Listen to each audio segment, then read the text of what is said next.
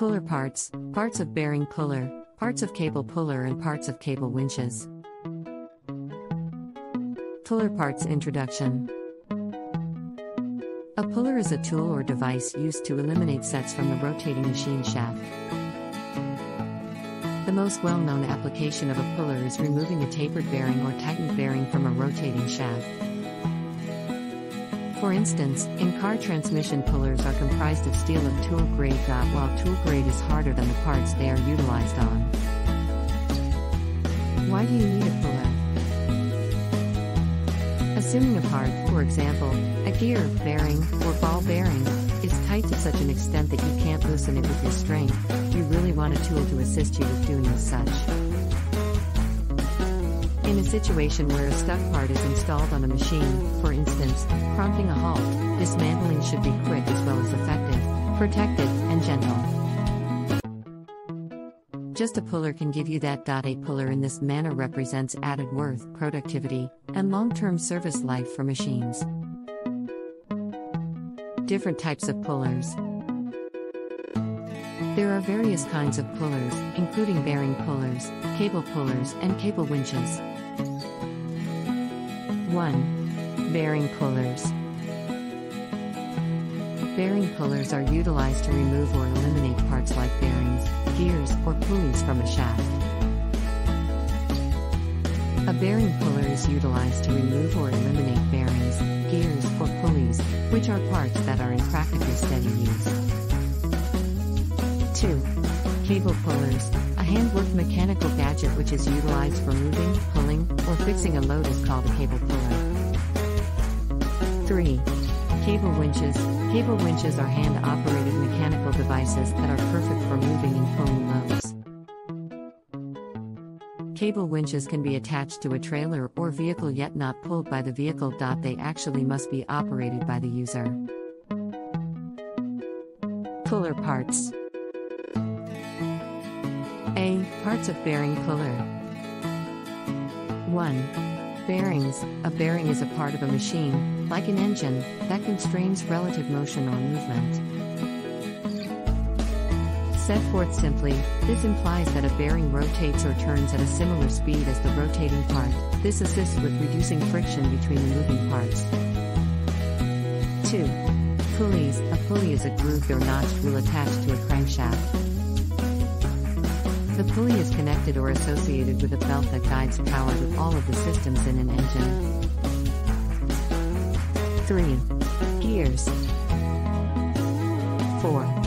Bearing puller forcing screw. The forcing screw is a long, fine threaded screw that is rotated or turned against the center of the shaft. While the forcing screw is rotated or turned, it applies a force to the part you are eliminating. 5. Hexagonal head on a bearing puller. The hexagonal head is attached or appended to the forcing screw. It is handily rotated with a socket wrench or digger. 6. Reversible claw legs on a bearing puller. Interior and exterior pulls are allowed by reversible claw legs. 7. Bearing puller cross arms. The cross arm attaches the legs to the forcing screw. Parts of cable puller. 1. Cable puller ratchet drive. The ratchet drive comprises two sprockets connected or associated with a cable drum. The drive pawls draw in with the sprockets to assist with rotating or turning the ratchet and pulling the desired load. 2. Cable puller stop pawl spring. The stop pawl spring goes about as a plug on the sprocket cam. 3. Cable puller drive pawl. The drive pawl is connected or associated as well as constrained by the drive pawl spring. The spring will engage or separate the drive pawl from the ratchet drive. 4. Drive pawl spring. The drive pawl spring can be set in an up or down position. 5. Anchor hook on a cable puller. The anchor hook will be connected or associated with the anchor point where the pulling will happen. 6. Load hook on a cable puller. An additional load hook can be tracked down on some, but not every single, cable puller. 7. Stop pawl trigger on a cable puller. The stop pawl trigger is appended or attached to the stop pawl spring.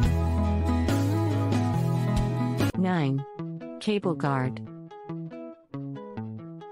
The guard shields the cable from slipping away when loose or free, and is located on one or the other side of the puller, to provide a barrier when the cable is being twisted in. 10. Cable puller lever handle. The cable is located or situated in the center of the puller around a drum. 11. Hanging pulley on a cable puller. The role of the hanging pulley is that it permits or allows the cable to run from the drum straight to the load hook. C. Parts of cable winches. 1. Cable winch load hook. The cable which is placed on the object that will be further removed or pulled is connected or associated with load hook. 2. Cable, drum, and gears on a cable winch. The main and fundamental ratcheting crank locking system comprises a wire cable placed around a drum with a gear on one side. 3. Ratchet switch pawl on a cable winch. The ratchet switch pawl can be put in an up or down position to draw in with the gear located on the drive axle. 4. Cable winch mounting base. This is a heavy or weighty plate chassis that supports the ratcheting or tightening crank locking mechanism. It contains mounting holes on the base plate which can be utilized to mount hard flat surfaces on a vehicle.